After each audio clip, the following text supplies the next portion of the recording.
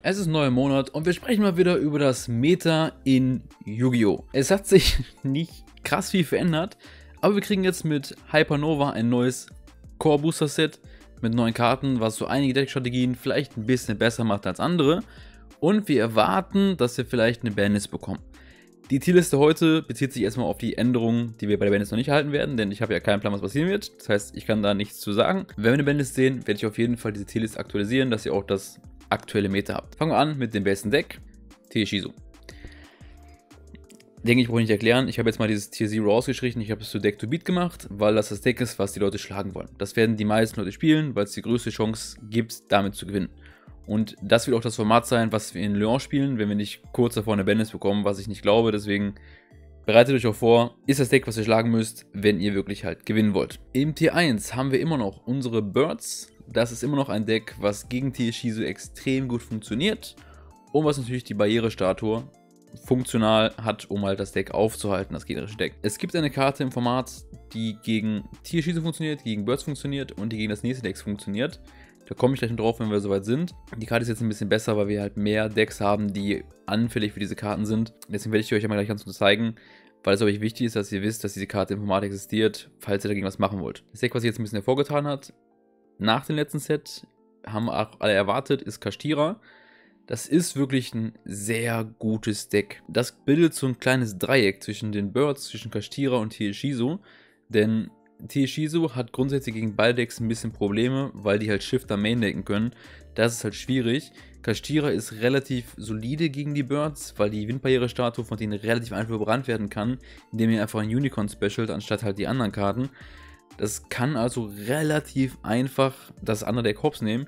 Und Bird ist halt wirklich extrem gut gegen Teishizu. Deshalb sind diese drei Decks so der Kernstück des Formats. Und mit Einbruch von Kastira im Metagame werden wir wahrscheinlich einige Karten weniger häufig sehen. Dadurch werden halt die Bystials deutlich schlechter, weil die halt gegen Kastira und gegen die Birds nicht wirklich viel tun.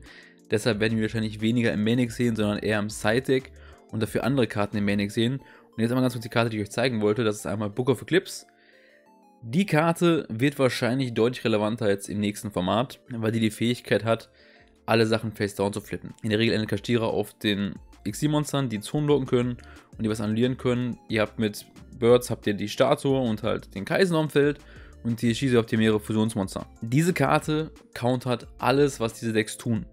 Und das macht diese Karte auch unglaublich gut. Es gibt eine andere Karte, die heißt Verbergende Schwerter. Die macht an sich das gleiche wie Book of Eclipse, nur dass sie halt eine permanente Zauberkarte ist, die für zwei Züge auf dem Feld bleibt, damit der Effekt auch weiterhin aufgelöst werden kann. Das heißt, es kann theoretisch halt geschossen werden, damit die Karten wieder aufgeflippt werden können, aber es erfüllt denselben Zweck, wenn ihr die Karte deaktiviert. Eine andere Karte, die vielleicht noch ein bisschen mehr zu spielen werden, ist vielleicht Book of Lunar Eclipse. Eine Karte, die was ablegen kann und zwei Karten wählen und die verdecken kann. Die werden wir wahrscheinlich aber eher in Tier sehen und nicht in anderen Decks. Aber es ist auf jeden Fall eine Option zu wissen, dass die spielbar ist. Endlich, muss man auf jeden Fall sagen. Machen wir weiter mit der Tierliste. Da haben wir fürs 3 einmal Tribegate. Ich habe das reingepackt, weil das eigentlich so ziemlich alle Karten wieder zurück hat, die es halt brauchen, mal spielen zu können. Das Problem ist halt nur, dass die anderen Decks halt so viel mächtiger sind als halt das Deck, dass es halt selber nicht viel tun kann. Aber es ist ein sehr cooles Deck und es kriegt ja auch Support. Und ich denke, dass der Support im Deck auf jeden Fall hilft, competen zu können nur nicht auf dem höchsten Level. Deswegen ist es auch ein Tier 3 Deck. Haben wir einmal im Tier 2 Despia. Das ist ein sehr gutes Deck mit neuen Karten, neuen Spielzeugen und es ist unglaublich mächtig. Ich glaube aber, dass es nicht genug tut, um halt gegen die oberen Decks halt was tun zu können, bevor eine Banlist halt kommt. Und das ist, glaube ich, so das große Problem, was das Deck so ein bisschen zurückhält, dass das Ceiling von dem Deck halt nicht so hoch ist wie die anderen Decks, aber eine Karte Mirror Jet ist natürlich unglaublich gut. Wenn ihr also wirklich ein geiles Deck spielen wollt, spielt Despia. Ich persönlich bin ja nicht der Riesenfan von Despia, aber ich verstehe, warum viele Leute das sehr gerne mögen. Dann haben wir noch einmal Dragon Link. Das ist ein Deck, was sehr viele gute Kombos machen kann und nicht gegen dieselben Karten verliert, gegen die die oberen drei Decks verlieren. Das macht das Deck inhärent halt nicht schlecht. Und dadurch, dass die Bystials halt ein bisschen schlechter geworden sind, ist das Deck auch ein bisschen schlechter. Ich halte es aber trotzdem noch besser als ein Tier 3 Deck, weil es inhärent halt ein solides Deck ist. Deswegen glaube ich, dass wir das auch ein bisschen häufiger sehen werden im letzten Format, aber es ist halt nicht das Deck, was ich jetzt unbedingt picken würde, um den YCS zu gewinnen. Aber es ist für eine Locals, für eine Regionals ein sehr gutes Deck und es wird auch bei vielen Leuten wirklich halt einen großen Anklang finden. Dann haben wir noch einmal Dogmatica. Ich packe das mal in Tier 3 rein, denn die kriegen neue Supportkarten. mit dem Ritualmonster. Dieses Ritualmonster ist unglaublich gut. Ich glaube aber nicht, dass es reicht, um das wieder richtig metafähig zu machen. Dieses Deck hat eine coole Engine, das hat gute Karten. Ich meine, die Servant ist eine krass gute Karte. Karten wie Banishment sind krass gut. Allerdings haben die das Problem, wenn halt die Birds oder Kastira mit Shifter ankommen, dann sind die beiden Karten beide nutzlos. Und das ist nicht gut. Weil das ist quasi der Kernstück und ihr macht halt mit Dogmata gegen die Birds nichts. Gegen Kastira könnt ihr einiges machen, das ist auf jeden Fall möglich, dass ihr dagegen gewinnen könnt. Wenn die aber einen Shifter aktivieren, habt ihr auch eine Schwierigkeit da durchzuspielen. Deswegen ist es ein solides Deck, aber es macht halt nicht genug. Aber es ist optisch sehr schön. Dann machen wir einmal weiter mit Pendulum. Ich packe das mal in Tier 2. Ähm, ich bin mir da zwar noch nicht ganz sicher, aber ich würde es, glaube ich, erstmal so hinpacken. Denn es ist an sich genauso gut wie vorher gegen alle anderen Decks. Nur gegen Kastira, glaube ich, hat das ein paar Probleme. Denn wenn ihr mit Kastira eine Pendelzone blockiert, habt ihr echt ein Problem. Und ich glaube, dass dieses Matchup halt nicht gut ist. Und ich denke, dass wir sehr viel Kastira sehen werden im nächsten Format. Deswegen könnte man so das Argument führen, dass das vielleicht eher in T3 reingehört. Ihr könnt es nochmal in die Kommentare schreiben, ob ihr das vielleicht anders seht. Und ihr sagt, okay, Pendel, ah, nee, die gar nicht mehr so gut, ne, pack's mal weiter runter. Dann können wir beim nächsten Mal drüber sprechen oder diskutieren in den Kommentaren darüber. Dann haben wir einmal Dark World. Ich packe das leider in nicht competitive, weil es hat nichts getan seit Release. Ich glaube, solange wir so haben, wird das nicht relevant werden. Ich glaube, sobald wir so nicht mehr so krass im Format haben, könnte das Deck deutlich besser sein. Kommen wir zu Exo Sister. Uh, und auch das ist nicht competitive. Es ist ein Deck, was Shifter spielt und das macht das Deck gut. Shifter ist gegen die Birds und gegen Kastierer nutzlos. Und wenn ihr Shifter spielen wollt, spielt einen von den beiden Decks. Ansonsten hat das keine Upside, also spielt halt ein anderes Deck. Wenn ihr meinetwegen Necrovelle spielen wollt, dann spielt Pendel, weil die können halt wenigstens suchen. Dann haben wir einmal Ignista. Ich glaube, dass Ignista aktuell das beste Cybers-Deck ist, neben Marinces, weil es nicht gegen die üblichen Verdächtigen verliert. Es hat aber gegen Kastira und gegen die Birds Schwierigkeiten. Gegen Shizu ist halt der Tower unglaublich gut, weil die es nicht wirklich outen können, wenn der halt aufs Feld kommt. Allerdings können die halt die Effekte vorher blockieren, bevor der Tower aufs Feld kommt. Ist also im aktuellen Format schwierig, aber nicht unmöglich, damit halt was zu gewinnen, weil die meisten Leute halt nicht die Outs dafür im Deck spielen, um halt gegen den Tower zu gewinnen. Dann kommen wir einmal zu Labyrinth. Ich pack's mal zu T3. Ich glaube, dass das Deck selber halt wirklich gar nicht so schlecht ist, weil wir halt viele Möglichkeiten haben, den Gegner zu ärgern mit guten Fallenkarten. Der Field ist halt ziemlich gut. Es ist, glaube ich, das beste ähm, Fallendeck, also das beste Purple Deck aktuell. Aber das reicht halt nicht, weil die anderen Decks, die können so viel Plus generieren und dieses Deck geht halt so viel Minus in der eigenen Engine, was natürlich wieder rausholen kann mit Gegnerkarten wegnehmen aber es geht halt inhärent so viel Minus. Deswegen glaube ich nicht, dass das Deck extrem gut competen kann, aber es ist auf jeden Fall kein schlechtes Deck. Haben wir mal Dolche. Ich packe das mal zu viel Potenzial hin. Ähm, der Grund dahinter ist folgender. Es verliert halt nicht gegen Shifter, es verliert halt nicht gegen ähm, die Bisher-Karten. Es ist ein solides Deck, es kann gute Dekan, es kann ein vernünftiges Board aufbauen. Die Fallenkarte, die es hat, ist ziemlich gut. Nur die Variante jetzt mit den Venusive-Karten ist halt ein bisschen beschissen, wenn halt ein Shifter kommt. Das heißt, die größte Stärke, dass die, Geschichte nicht, dass die Geschifte nicht anfällig sind, geht damit wieder raus. Aber es gibt im Deck halt Consistency und halt mehr Monster ausfällt, was an sich halt ziemlich gut ist. Und ich glaube, das ist extrem davon abhängig, wer das pilotet. Und da wieder schreibt mir in die Kommentare, ob ihr das anders seht. Ich wollte es als erstes in nicht competitive einordnen, weil ich mir denke so, es, es tut halt was, aber es wird halt auch nicht viel gespielt. Deswegen, wenn euch so eine Art von Video gefällt, also Metatilis und generell Content zu Yu-Gi-Oh!, lasst mir gerne mal ein Like dafür das Video, damit ich weiß, ihr habt da Bock drauf dann seht ihr soweit auch von mir regelmäßig. Das nächste Deck ist einmal Marinces. Ich packe das mal zu Ignista. Ich glaube, dass die ein ähnliches Upside haben. Allerdings glaube ich, dass Ignista Zacken besser ist als jetzt hier Marinces. Der Vorteil ist halt wirklich, ihr kriegt halt auch einen Tower, ähnlich wie bei Ignista. Aber ihr müsst halt deutlich mehr über den Friedhof machen. Klar, ihr habt mit dem bisschen nichts zu tun, weil ihr Wasser spielt, aber ihr spielt halt Wasser. Und wenn ihr halt gegen die Birds oder gegen Gastierer spielt, habt ihr auch vielleicht ein Problem, weil die können euch ein paar Zonen blockieren und das kann manchmal nervig sein, weil ihr nicht genug Karten habt, um halt irgendwas tun zu können. Oder halt durch den Shifter die Karte in die Friedhof bekommt und ihr könnt nicht wirklich spielen.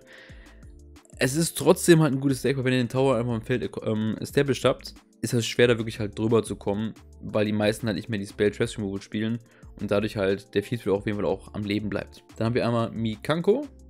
Ich packe es mal in viel Potenzial rein weil ich von dem Deck selber noch nicht so viel gesehen habe. Ich habe ein paar Varianten gesehen mit Libromancer, ich habe ein paar gesehen, die das Po gespielt haben, mit ein paar Equipspells, mit Isolde, mit Infernobles auch ein bisschen drin. Es ist, glaube ich, kein schlechtes Deck. Ich glaube, das ist mal aktuell Format nicht viel reißen kann, wegen Decks, die oben drüber sind. Ich glaube aber, dass es inhärent kein schlechtes Deck ist. Ich glaube, dass viele das unterschätzen und das könnte wahrscheinlich in Zukunft so ein bisschen für Furore sorgen, sagen wir es mal so. Ich nehme mal ganz kurz zu diesem Deck auch einmal Poly mit dazu, denn Poly ist auch ein Deck, wo wir schon Support angekündigt haben. Das sind Karten, die die bekommen, die unbedingt auch gebraucht haben, weil die dadurch halt deutlich besser werden. Ein Searcher, ein neues Monster, was halt wirklich wichtig ist, weil ihr habt halt die ganzen Karten, die was im Deck specialen können. Das ist halt gut mit einem extra Monster. Ihr habt diese guten XCs, die wirklich halt unglaublich gut sind und auch wirklich generisch sind. Ihr könnt mit Poly wirklich viel machen. In Kombination mit Sprite zum Beispiel, das ist noch ziemlich gut. Also ich glaube, dass das Deck sehr viel Potenzial hat, gut zu sein. Wir haben im OCG schon gesehen, dass ein paar Leute das auch spielen, dass es auch relativ erfolgreich ist, weil ich aktuell keinen Grund sehe, das halt schlechter einzuordnen weil ich glaube, dass es ein sehr gutes Deck ist. Es ist gegen so ziemlich gut. Es kann theoretisch gegen andere Decks auch funktional gut sein. Nur Kastira Birds macht es natürlich ein bisschen schlechter, weil ihr halt weniger Access im Friedhof habt, wenn ihr gegen das Deck spielt. Aber das, was es macht mit den wenigen Karten, die es hat, ist halt ziemlich gut. Deshalb glaube ich schon, dass es halt ein kompetentes Deck ist, was ihr spielen könnt. Ähm, das Plant-Deck packe ich mal zu nicht competitive. Es ist ein gutes Deck. An sich aber es hat einfach zu viele Schwächen gegen die aktuellen Decks, weil wir viele Handtraps sehen aktuell, zum Beispiel in den Sprite-Varianten und Karten, die halt das Link-Monster entfernen können oder halt das Normal Monster, dann habt ihr halt echt ein Problem, weil ihr dann nicht viel zum Spielen habt. Planet Patrol geht auch in viel Potenzial rein. Die kriegen also Support und es werden Leute versuchen, dieses Deck zu spielen. Und ich glaube, wenn wir die noch ein bisschen Support bekommen, könnte das Deck sogar gar nicht mal so schlecht werden, aber es scheitert logischerweise auch am aktuellen Format, dass halt nicht so viele Decks da sind, die das halt wirklich gut schlagen kann. Aber es ist trotzdem ein Deck, was ich potenziell wirklich sehr weit oben sehe, wenn das wirklich relevant werden sollte. Dann haben wir einmal das Runic Stun Deck. Ich packe das echt ungern da oben hin, nur wir müssen uns überlegen, dass wir im aktuellen Format eigentlich gar keine Back-Removal-Karten spielen. Vielleicht ein Lightning Storm oder ein Evening Match im Side-Deck. Aber das reicht halt gegen das Deck halt nicht. Und das Deck ist halt ultra nervig, wenn ihr diese Karten nicht habt, um das zu outen. Und das kann euch extrem easy outgrinden und euch das Deck klauen. Und ohne Deck könnt ihr nicht spielen. Wer hätte das gedacht? Deswegen glaube ich schon, dass das Deck auch relativ beliebt sein wird auf manchen Turnieren, weil das nicht so schwierig zu piloten ist, muss man fairerweise sagen. Klar, die ganzen Draw-Effekte von dem Brunnen kriegt ihr nicht unbedingt, wenn ihr gegen Tier spielt, aber es gibt so viele Varianten, wie ihr den Gegner stunnen könnt, dass ihr vielleicht trotzdem halt den Gegner aufhalten könnt, dass ihr halt diese Shuffle-Effekte aktiviert. Ihr könnt einfach Normal Summon Emmanuel Ivato machen. Was soll er denn aktivieren? Er kann ja nichts shuffeln. Deswegen glaube ich schon, dass es halt ziemlich gut sein kann. Wir werden sehen, wie gut das wirklich genau ist. Ich glaube schon, dass es halt mit contenten kann für ein paar Top-Spots. Da haben wir einmal Sword Soul. Das packe ich leider auch in, ähm, nicht competitive, ne, Primus nicht. Ich glaube, ich packe es auch mal in Tier 3 rein, weil das immer noch ein ganz gutes Deck ist. Ähm, es verliert gegen Shifter jetzt nicht so hart, wenn ihr jetzt nicht unbedingt die ähm, Variante spielt mit den Tandy-Monstern. Aber es ist halt immer noch ein Deck, was euch relativ einfach umbringen kann. Das heißt, wenn ihr dem halt ein bisschen Raum gibt und es hat halt Karten zu spielen, dann seid ihr halt auf Dead. Ne? Und deshalb glaube ich schon, dass es halt ein Deck ist, mit dem ihr wirklich halt irgendwo antreten könnt. Weil es hat hier so auch nichts verloren innerhalb der letzten Monate. Ist einfach nur so ein bisschen gepowercreept worden von den Decks, die halt neu rausgekommen sind. Haben wir einmal Sprite. Ich packe Sprite nochmal in Tier 1, wobei ich glaube, dass Sprite schon abgefallen ist von dem, wie gut es vorher war. Weil ihr konntet vorher wirklich als Sprite extrem gut gegen Tier bauen. Habt in eurem Side-Deck Karten gezeigt, die ihr gegen Flander gespielt habt, wenn ihr wirklich mal gegen einen Flander-Spieler gespielt habt. Und dann war gut. Jetzt haben wir noch Kastira. Und die Karten, die gegen Flander funktionieren, funktionieren nicht unbedingt alle gegen Kastira. Ein paar natürlich schon. Book of Eclipse, haben wir darüber gesprochen. Und deshalb verliert halt ein bisschen diese Flexibilität. Dass halt diese guten, generischen Non-Engine-Karten gegen die Decks spielen kann, die aktuell ziemlich gut sind. Weil ihr braucht halt verschiedene Karten gegen Kastira, gegen die Birds und halt gegen Teeshizo, dass ihr nicht genug generische Karten spielen könnt, die quasi alles abdecken können. Und das ist, glaube ich, so ein bisschen der kleine Downfall. Aber ich glaube, dass es trotzdem halt ein ziemlich gutes Deck ist, weil ich spiele es ja auch selber, also es ist halt unglaublich gut. Aber ich glaube nicht mehr gut genug eigentlich, um mitzuspielen. Aber ich würde es auch nicht in Tier 2 packen, weil ich es schon besser finde als der Rest, der da drin ist. Und Wert Tier 1,5 mache ich ja nicht. Aber das wäre für mich, glaube ich, so ein Contender, wo ich sagen würde, ist nicht ganz Tier 1, aber auf jeden Fall nicht Tier 2. Deshalb ist es damit dabei. Und das letzte Deck für heute ist einmal das Trap Tricks Deck, weil das kriegt ein Structure Deck, was ziemlich gut ist. Ich habe ein paar Kombos gesehen und habe gesehen, dass das Deck dadurch konstanter wird. Ob das gut wird, könnt ihr mir in die Kommentare schreiben. Ich habe keinen Plan. Ich glaube, dass das Potenzial hat, ein bisschen was zu reißen, aber ich glaube nicht, dass es halt genug tun kann, um im aktuellen Format wirklich halt konstant Tops zu erreichen. Das war's für heute. Wir sehen uns im nächsten Video. Bis dann rein. Ciao, Leute.